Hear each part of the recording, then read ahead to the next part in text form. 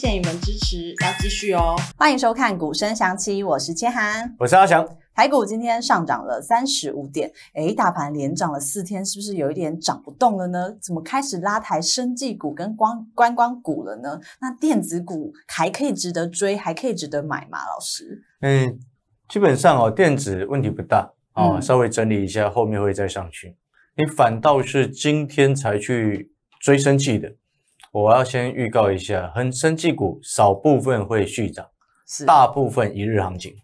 好、所以这个部分是投资朋友你要特别注意的，因为主流嗯，但节目开始前，对还是要请大家订阅一下我们的频对道。反攻还是在电子的。那当然在，就像刚刚千安所说的，在节目正式开始之前呢，还是请好朋友啊，这个稍微动个手啊，订阅我们的一个频道，有最新的节目上架的时候，就会自动通知你啊，记得开启小铃铛啊。然后再来就是说这个。按赞的这个部分呢，其实我们每天都会鼓励所有的投资好朋友稍微动个手，哦，因为以前哈、稍微分享一下，就是说为什么我们每天都要讲这件事情，就是说以前我们在看影片，我像我自己在看影片的时候，或者是像看文章的时候，或者是像看一些这个这个其他的一个东西的时候，哦，我们以前不习惯会去按个赞，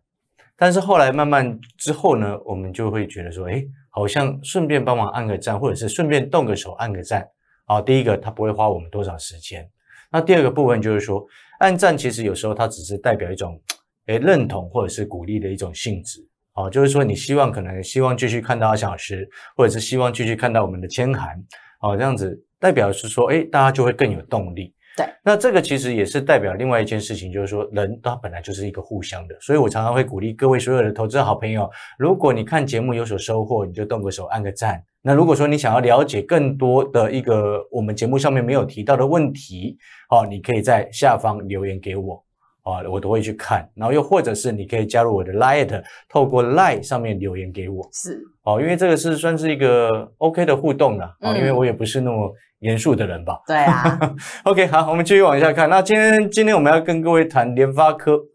联发科全新的晶片，全新的商机，哦，这个算是非常前瞻的一个方向，嗯哦，这个是整个市场目前还还少数在讨论的。那当然，这些重点我们先来看，这个是我在十月二十四号哦，在去非凡股市现场之后哦，有谈到了两个重点的股票，第一个叫做这个发哥渔翁得利，这个是我们在讲联发科的时候，这个是另外一档就是身家店。好，然后上一次呢，在十一月一号，我又继续在谈联发科，所以我们现在回过头来哦，六七三二的生姜店那时候股价十一这个十月二十四号的时候，股价在这边，我想千行应该还记得啦，对啊，记得什么？就是说我们的狙击股的名单哦，嗯就是六七三二的身家店。那你有看我 Live 的好朋友有跟着去买的，或者是看我们那个台股特派员的节目有去跟着去买的哦，都要恭喜你哦！这个这个从那时候推荐十月二十四号公开在 Live 上面，那时候股价差不多是四百二十六块，到今天已经五百二十七了。哇，哦，我们要恭喜我们的会员朋友。那你当然，我先讲在前面，这档股票不是所有会员朋友都买都有通知买进的，因为毕竟它股价比较高。嗯，哦，这我们必须承认啊。那其他还在手上的会员朋友就跟紧讯息。那联发科的部分，当然这一段时间你还没有上车，或者是有看 Light 看我节目跟着上车的好朋友，都先恭喜你。到目前为止，我们的策略就是获利续报对，哦，就是获利续报。那至于后面什么时候要下车哦，请静待我的通知。哦，又或者是你手上有跟着买的朋友，你不知道什么时候下车，想要跟着阿小老师一起下车的朋友，哦，就欢迎跟我们联系。嗯好，那这些其他的重点呢，前面讲的比较贵的股票啊，深家电、联发科，这九九三八的百合应该不用再多多再说明了吧？我说过这张股票稳，虽然它慢，但是它很稳。是，慢慢的从五十五块公开在节目上讲啊，带会员朋友进场，到今天已经来到了六十一块多，嗯，但是在这个位置涨蛮多的啊，对，它也十几趴了啦。对啊我，们看流张表也是十几厉趴慢慢的做了哈。这个这个是其他这些，我们先谈这个几个部分。那至于更重要的部分是在于什么？就是说你会发现你，其实你有没有发现一件事情啊？千涵应该有发现，你知道什么事吗什？么事？因为我有我我蛮常需要去这个电视台当特别来宾，像这个礼拜五又要去再去去电视台。对，然后呢，应该有发现一件事情是什么？就是说，你看我举一个例子，因为我们在选股的一个投资逻辑，你看像这一天，十月二十四号，这我是下午去录财经节目嘛，嗯，但是你在当天你去看我那个盘中即时的 Light 的一个小叮咛，我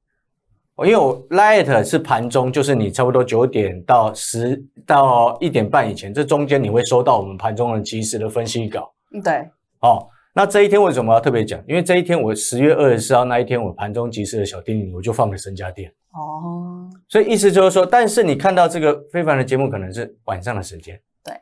时间哦你会发差现它有时间上的落差。嗯，然后我们就点到为止，哦，听得懂就听得懂对，啊、因为我们还是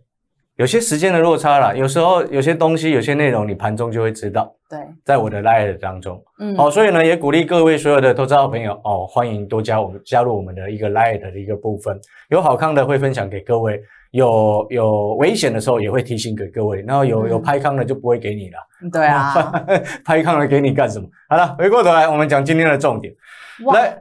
这个很复杂哦。复杂，这个先要讲一下细节的部分，因为我们好好的一一来看，这个是九三零零，对，这个是联发科最新的那个智慧型手机的晶片，天玑九三零零啊。他昨天在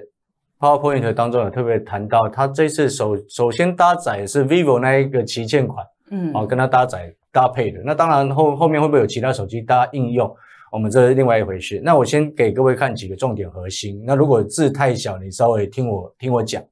哦，它是总共是八个核心哦，然后它 PowerPoint 上面是讲说是四个超大核心跟四个四个大核心啊，基本上这个概念是什么？就是四个大核心，四个小核心啊。嗯，哦，它只是频率上的不同。哦，四大四小，这背后代表什么意思？你投资朋友，你看我们产业的方向，或者是看我节目很久的好朋友，你看到这个时候，你就要想到另外一件事情是什么，知道吗？什么事情？台积电的 CoWoS。哦，哦，那个是先进封装的一个技术，大核心、小核心不同的晶片合在一起啊，这其实就是所谓的三 D 堆叠的那另外一种的一个技术。那再另外再把那个机体的也堆在上面，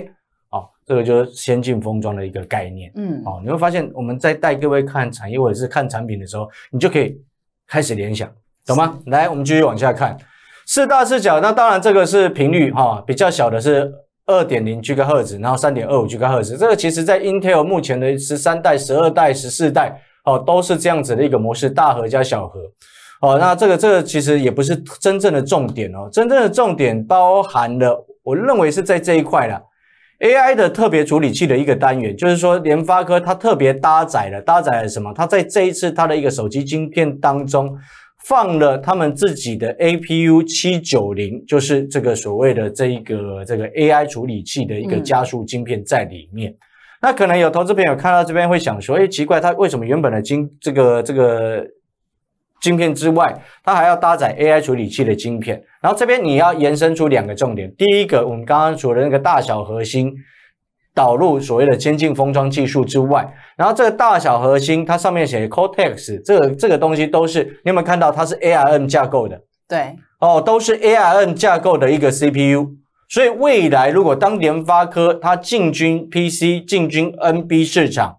也会是用所谓的 ARM 架构的一个 CPU。嗯，哦，所以这一点你就先记得这个重点。然后呢，它又搭载了所谓的 AI 加速的晶片在这里面，加速的单元在这里面。所以我们就进一步再往下看。当然，这个一般的一个所谓的一个均均并 bench 的这个这个这个，其实有用电脑的朋友应该都知道，这个就是所谓衡量它这一款 CPU 的。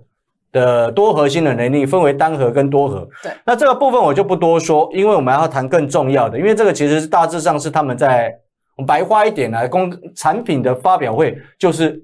行销大会，不是吗？是，哦，所以这另外另外一件事情，但是我们要带各位看真正最重要的，他特别强调了一个重点，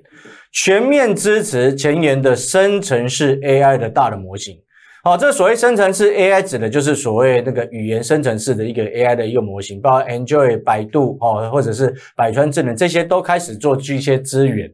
那这个概念其实就是所谓的之前大家所很熟悉、最熟悉的那个 Chat GPT。嗯，哦，连中国大陆其实他们很多的厂商，百度啊这些其实都已经在发展这个区块。对那它所谓的全全线资源的一个原因，是因为它里面放了它那个 APU 七九零，他们这一颗的这个 AI 加速的一个单元，嗯，所以它会特别强调这一点。这个也是未来在手机当中，甚至更进一步，在未来你的算力各个你家的电脑、你家的手机算力提升之后，大家这些科技厂商会强调的重点。对，所以我们这时候再继续往下看。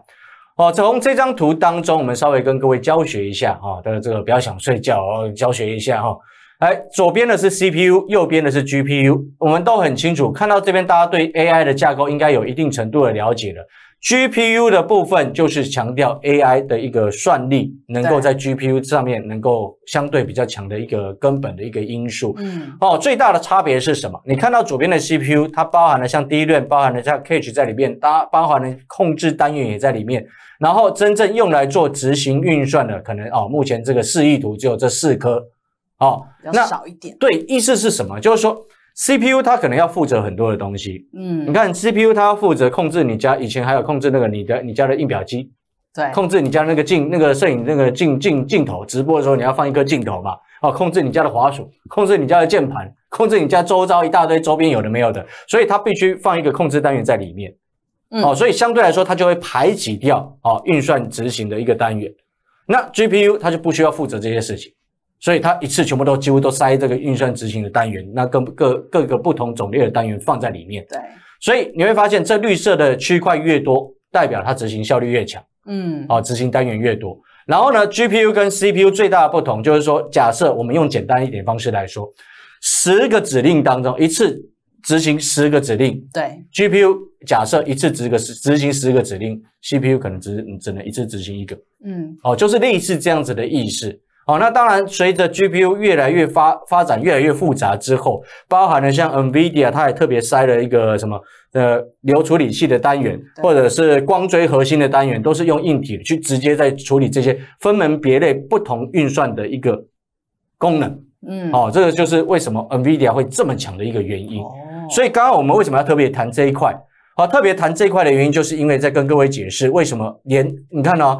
联发科推出的好、Matek 的天玑九千三九三零零，它为什么要特别强调？哎，它还放了 AI 运算的单元在这里面。嗯，哎，看到这边大家就懂了，就是不同的执行的一个单元，它把它加进去，好、加在这里面，然后能够做成这样，最大的工程叫做什么？先进封装。嗯，好、先进封装。好，所以我们再继续往下看，来这边给各位做另外一个教学，就是 AI 算力的一个标准。呃，一般来说我们叫做浮点运算次数啊，这、英文叫 flow f flow，呃那个怎么念我也搞不清楚了哈。好，那你这边要特别注意，就是说 FLOPS 啊，每秒像这 N FLOPS 每秒一百万次，你就记得这个单位。好，G 然后再来 T 啊，这个是每每秒一兆。哦，那你先记得这个这个算力的标准，嗯啊，英文的一个简写就是 FLOPS，好、就是这个英文的一个概念。然后要有了这个标准，你就可以去比较啊。你没有标准，你没有办法比较，因为不然联发科昨天开那个天天玑九三零零，说他自己产品多好多棒，好棒棒，对不对？一定说自己的产品一级棒的啊。对不对？就像我一直在强调，你帮忙按个赞，对不对？嘿，一定是这样强调。所以呢，你现在回过头来，来，我们继续往下看。先做几个比较哦。刚刚那个浮点运算的一个那个那个能力啊、哦，那如果说我们用 GPU 的一个概念，FP 三十这个叫做单精度的一个所谓的浮点运算的一个的性能哦，单精的一个浮点运算的性性能，你看这边这个是高通的哦，八军 two 这个是高通，应该有些这个观众朋友手机是用这一颗晶片嘛，哦，三六八一，你就记得这个数字。哦，然后除再除往上进阶，来你看哦，嗯，你看它是 GF，刚刚三六八一是 GF G 这个每秒十亿次嘛，哦，每秒十亿次，然后 T TF 这个概念叫做每秒一兆次，所以你要往上进一阶，然后乘以一千，哦，所以意思就是说这边呢是要除以一千，哦，三六八一除以一千等于三点六 TF，哦，嗯。就记得这个 TF 概念哈、N two 大家很熟悉的 N two 三点五。TF 好，那我们继续往下看，来 A 十五先前的 A 十五晶片啊，Apple 的 A 十五是一点五 TF，就是它它每秒一点五兆次的浮点运算能力，单精度浮点运算能力。N two 是每秒啊这个这个三点五兆次啊这个 TF 的一个单精度的浮点运算能力。来，我们给各位看四零九零。哦，你看到 NVIDIA 四零九零哦，就是我目前我家电脑在用的那一颗那一颗显卡哦，它这边的数据是八十二点五，我那时候测出来，前一阵子我有测，大概跑是九十几啦哦哦 DF，你会发现这个差距百倍啊，对啊，为什么差那么大？好，现在你看到这边你就知道为什么，放了那个呃，为什么拜登哦嗯，要进进四零九零？对，为什么拜登要进四零九零？因为他的浮点运算能力太强了。是，当然，它还包含了什么？三那个单晶，我们刚刚讲 FP 三十二是单晶度的浮点运算能力，还有 FP 六十四、FP 十六跟 FP 八，每一个运算的这个方向不太一样。嗯，哦，当然这是更细节的部分。那我们给各位大的一个方向，你先去做这样子的比较。我给各位看这样子的数字，哦，可能有些朋友可能看到这边，那就想，哎，那老师那那个 H 一百呢？NVIDIA 那个 AI 伺服器对啊 H 一百呢？我告诉你，H 一百其实没有很强，它是单张，单张大概六十几。嗯，哦，它比单张它比四零九零还要弱，哦。但是 NVIDIA 很，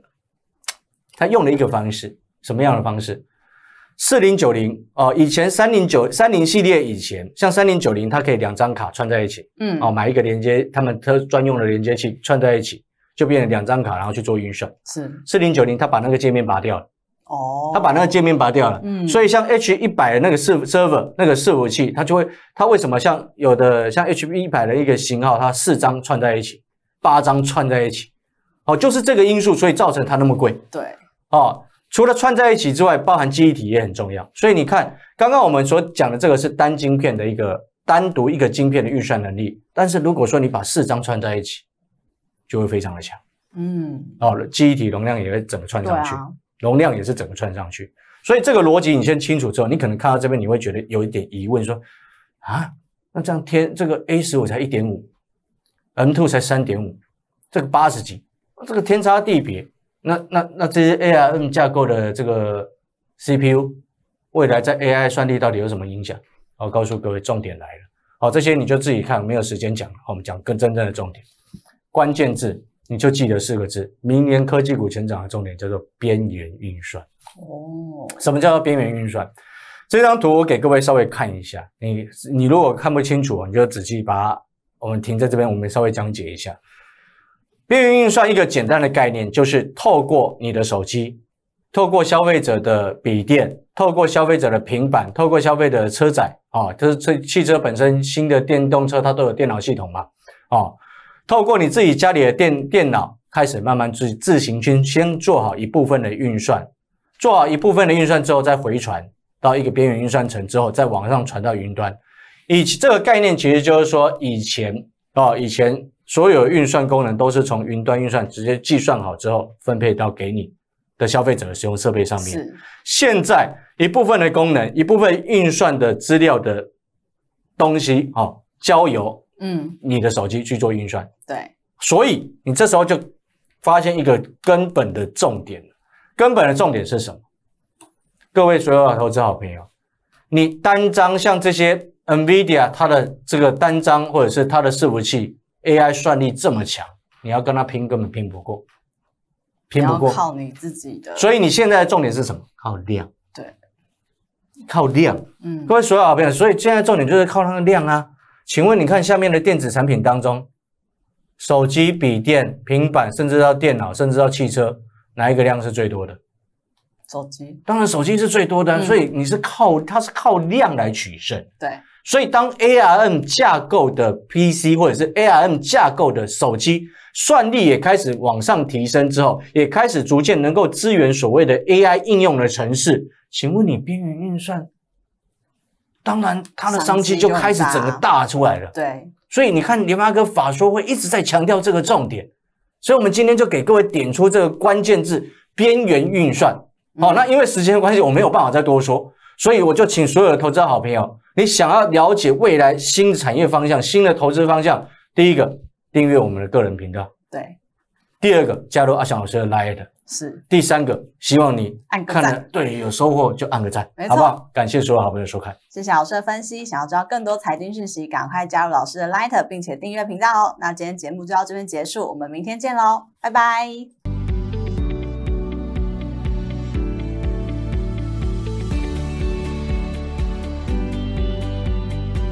本公司以往之绩效不保证未来获利，且与所推荐分析之个别有价证券无不当之财务利益关系。本节目资料仅供参考，投资人应独立判断、审慎评估并自负投资风险。哦，烦死！每次下班前来叫我做这个做那个，每天忙到没时间吃饭，还要一直处理同事的烂摊子。难道公司要给我两份薪水吗？所以你需要的是严选最专业的分析阵容，从总体经济、股票分析之根本，再到实地走访产业，理财周刊频道给您最全面的看法。加入理财周刊，让你赚进第二份薪水。